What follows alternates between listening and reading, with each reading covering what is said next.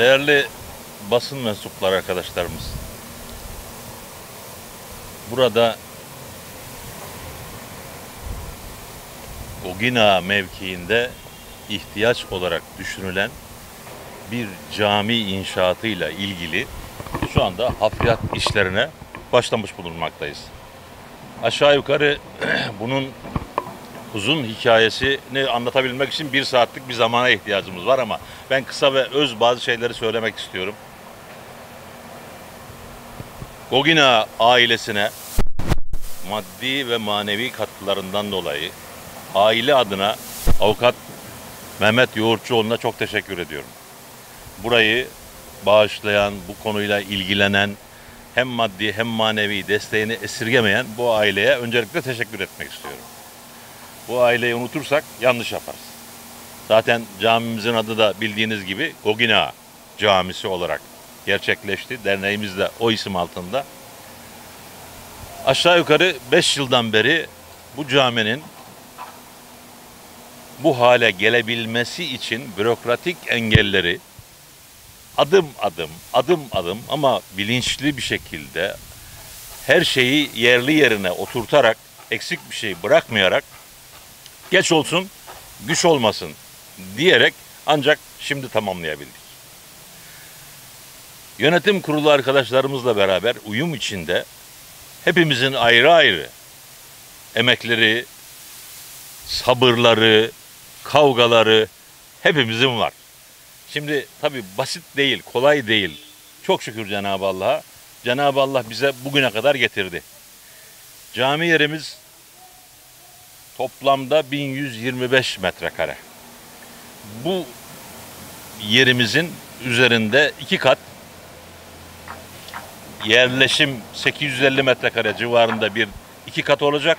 Yani alt yolla üst yol arasında kod farkını buraya iki kat sokucu sokacağız. Daha sonra da üzerinde de 450 metrekare civarında tek minareli bir resimde görüldüğü gibi bir cami inşaatı Allah izin verirse yapacağız. Tabii bizim görevimiz buraya kadar bu işi getirmekti. Bundan sonrası hayırsever insanlarımıza ait. Bu işin maddi bölümü, biz prosedürü, bürokrasiyi açtık geldik ama bundan sonra maddi bölümü var. Maddi bölümünü de insanlarımızın, hayırsever insanlarımızın destekleriyle biz bu işi yapıp hizmete sunmak için mücadelemizi devam ettireceğiz. Bu konuyla ilgili bir defa şunu açık ve net söylemek istiyorum. Büyükşehir Belediye Başkanlığı'na katkılarından dolayı çok teşekkür ediyorum. İlçe Belediye Başkanlığımıza katkılarından dolayı teşekkür ediyorum. Kaymakamımıza teşekkür ediyorum. Müftümüze teşekkür ediyorum. Maddi manevi desteğini bizden esirgeme. Hep arkamızda duran bir insan. Sağ olsun. Ee, biraz evvel ifade ettiğim gibi inşallah topluma sizin da böyle bir şeye başladığımızı iletebilmişizdir. Allah hakkımızda hayırlı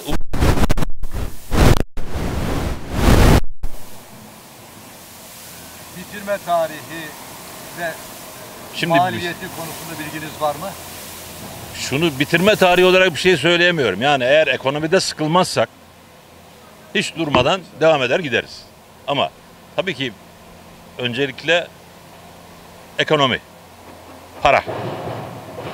Eğer para da vatandaşlarımızın destekleri sürer de bu iş yaklaşık bizim hesabımıza göre 4 bin lira, 4 milyon lira mı oluyor şimdi? Şaş, şaşıyorduk. Eskiden 4 bin, Yaklaşık 4 milyona mı mal olacak? yani öyle söyleniyor. Tahmini olarak 4 bin lira, 4 milyon lira.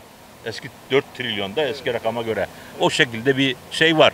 Ee, söylenti var. Ee, veya tam net bilmiyorum ama arkadaşlarımızın teknik insanların söylediği bunun yaklaşık olarak maliyeti 4 civarında 4'ü geçebilir gibi bir e, söylenti, bil- bilgimiz o kadar yani. Onun, onun dışında çok şey bilmiyorum. Dernek olarak hafriyat e, çalışmasını yapıyorsunuz. E, temel atılacak mı?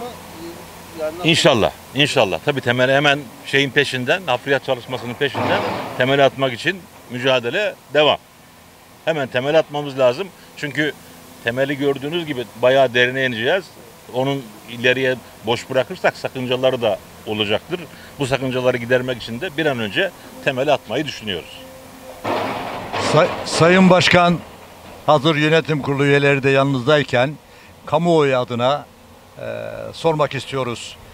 Goguna ailesi burayı cami dışında öğrenci yurdu gibi bir şeyler içinde değerlendirmeyi düşünmüş müydü? Yoksa direkt cami olmasında yarar mı var diyerek e, Şimdi buranın aktif bur- hale getirdi. hemen şunu söylemek istiyorum. Burada belediyenin imar planında da cami yeri olarak ayrılmış bir yer burası. Şimdi cami yeri olarak ayrılan bir yerde başka bir şey yapma şansınız var mı? Ama şunu söylemek istiyorum. Camimizin alttaki iki katı alttaki iki katı yani yaklaşık 850 1600 metrekare bir, bir alan meydana gelecek burada kapalı bir alan olacak.